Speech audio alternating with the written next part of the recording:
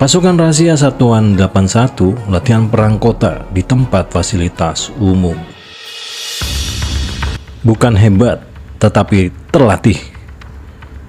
Batalion 812 Satuan 81 Kopassus Sumatera Darat di mana Satuan 81 Kopassus TNI Angkatan Darat merupakan pasukan hantu rahasia yang biasa diterjunkan sewaktu-waktu untuk tugas khusus.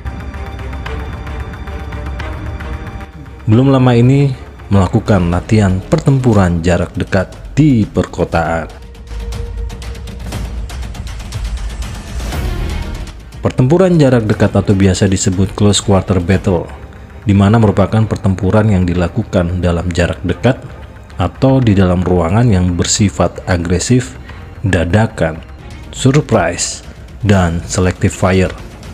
Kecepatan, kekerasan, dan daya kejut yang luar biasa menjadi modal utama di setiap melaksanakan pertempuran jarak dekat.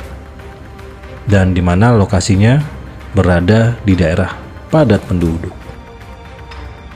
Latihan ini bertujuan mengasah kemampuan setiap prajurit di lapangan jika sewaktu-waktu mendapat perintah tugas komando pimpinan, kapan pun dan di mana pun.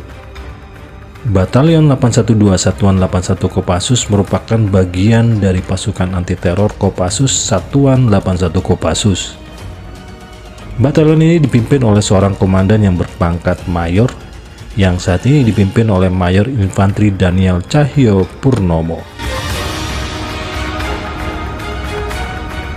Salah satu mantan komandan Batalion Satuan 812 ini telah purnawirawan dengan pangkat Jenderal Bintang 3 atau Letnan Jenderal dan sekarang sebagai Wakil Menteri Pertahanan Prabowo yaitu Letnan Jenderal TNI Purnawirawan Muhammad Herinda.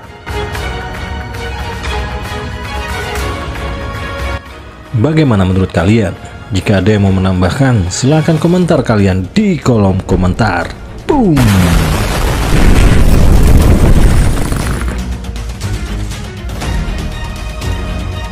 Terima kasih buat kalian yang sudah selalu menyimak video-video di channel Gulton 82.